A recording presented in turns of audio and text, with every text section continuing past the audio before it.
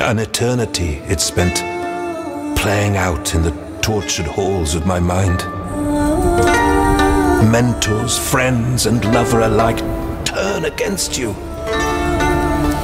Whatever end we meet, it has been a delight to compose the song of change together.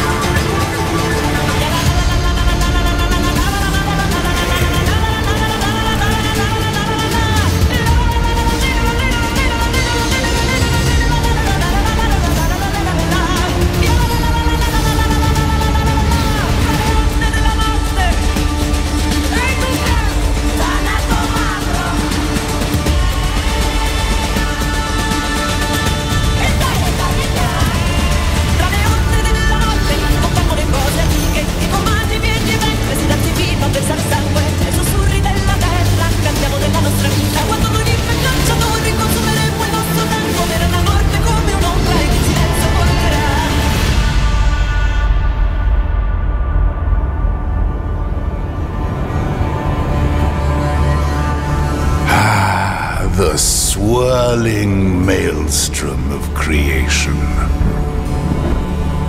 Magnificent. Is it not? What worth has a song deprived of its end?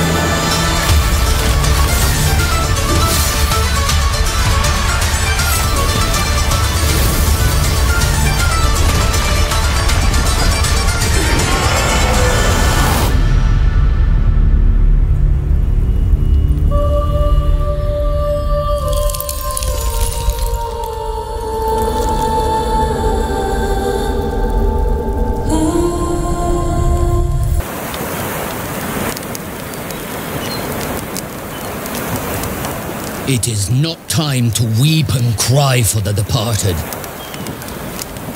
There is much yet to do. Ah, the tree of change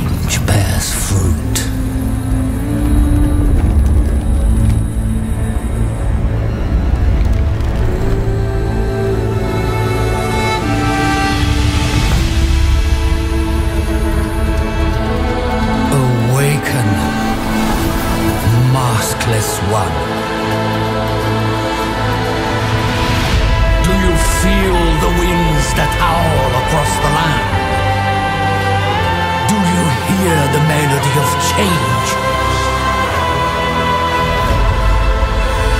The wheel must turn again. So ages come and pass. And memories become legend.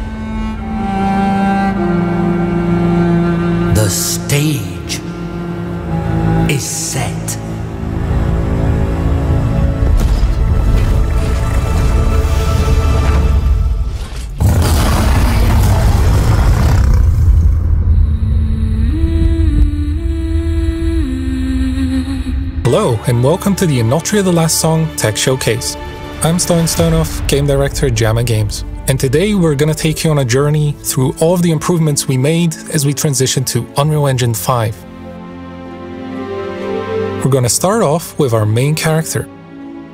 You can now clearly see the markings of Ardore, the fantastical power that you can channel for spells, buffs, or to alter the very world around you.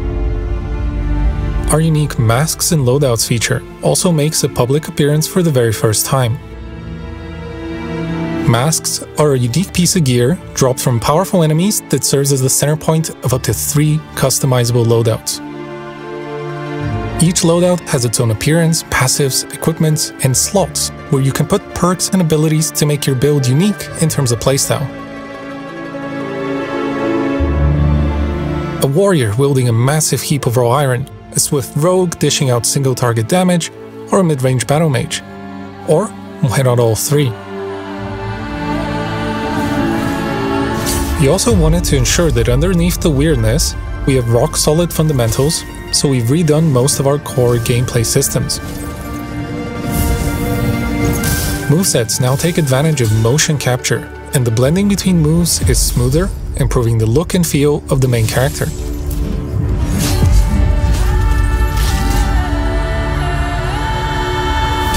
Our chainable parries allow you to adopt a push forward and aggressive playstyle, something that we fully encourage.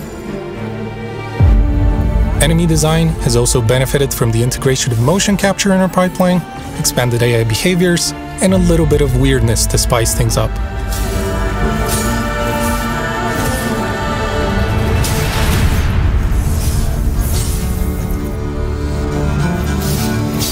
Arsenal of weapons has been expanded with additional movesets, from Swift Sabers to my own personal favorite, Colossal Weapons.